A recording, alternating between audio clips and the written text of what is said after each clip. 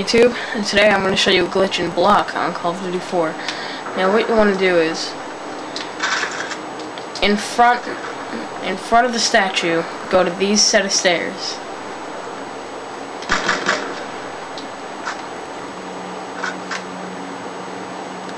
Alright, start about here. Run, jump, and crouch.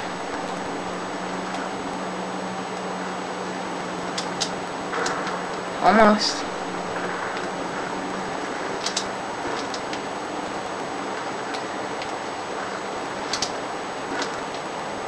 Let's give it one more try.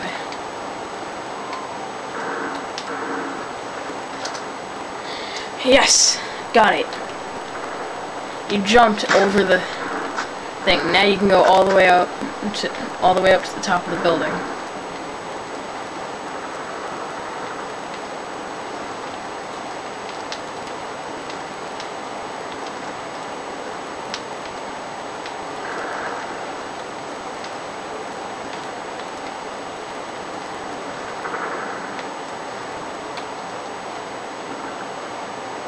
And here you are. I'm not sure how many stories it is exactly.